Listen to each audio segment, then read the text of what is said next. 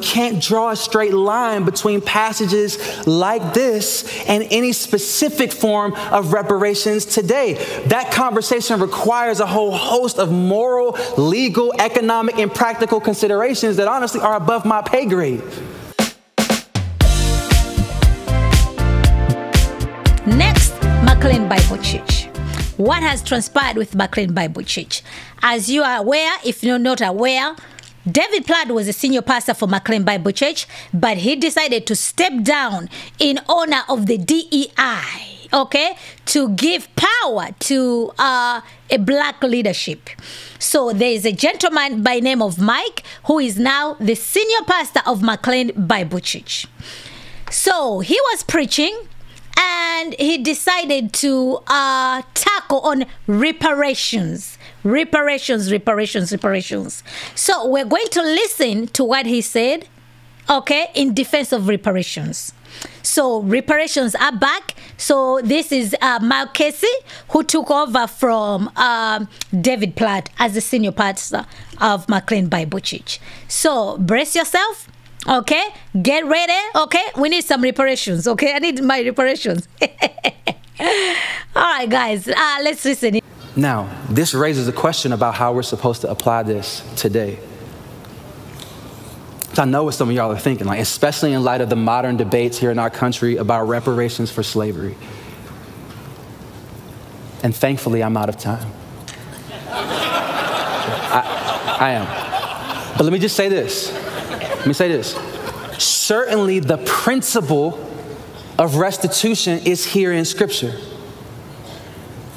That justice requires not just stopping injustice, but repairing or rectifying that injustice in appropriate ways. This is why in the New Testament, when the tax franchise owner Zacchaeus becomes a follower of Jesus, he commits to actually repaying everyone he defrauded fourfold. At the same time, though, you can't draw a straight line between passages like this and any specific form of reparations today. That conversation requires a whole host of moral, legal, economic, and practical considerations that honestly are above my pay grade. It's a worthy conversation. You just can't jump immediately from scripture to this is what that should look like today.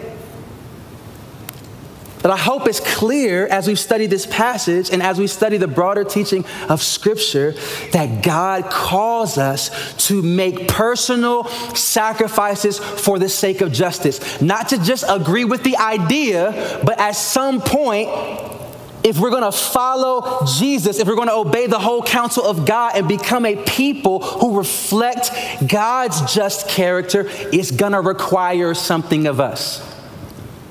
It's going to require that we give some things up. It's going to require that we make some sacrifices in order to get involved and to reflect the character and kingdom of God in caring for the vulnerable, the poor, the oppressed.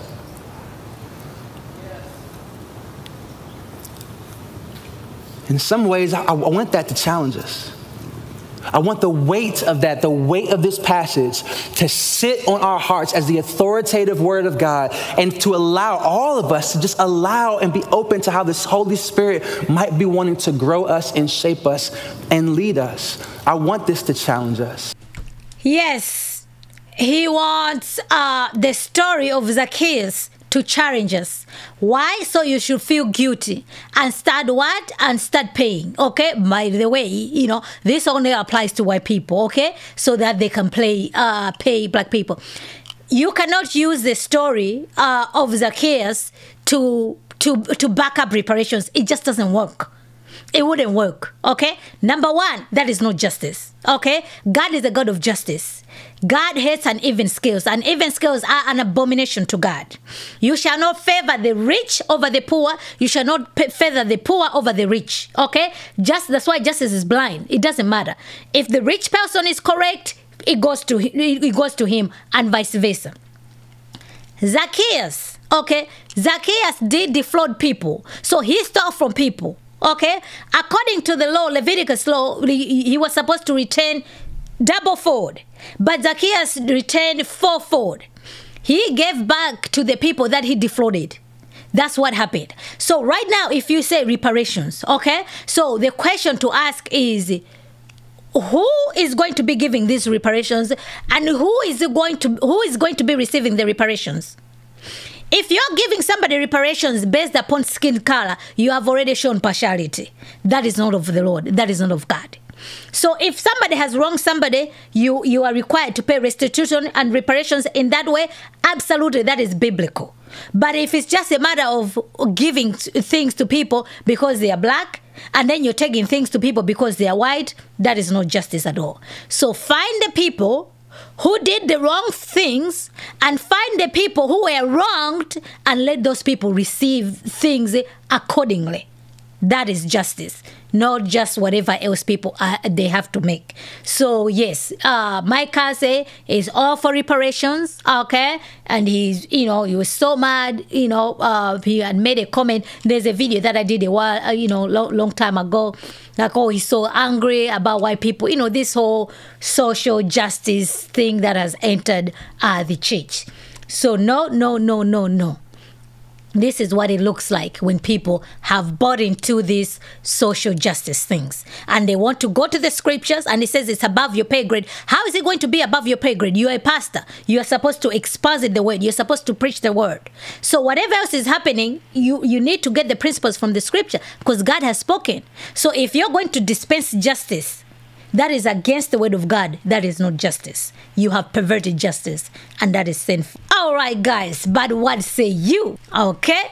Do you, you know, should we get these reparations? Reparations. you know, the law of God has already made um, distinctions. You see what I'm saying? You know, this person is a fugitive, this person is a murderer, this person is a thief. All those things are there. We just have to apply it. The law of God is good.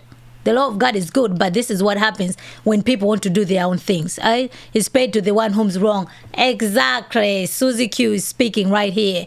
Good point. That's exactly what I was saying. 100%. You're correct. You're correct.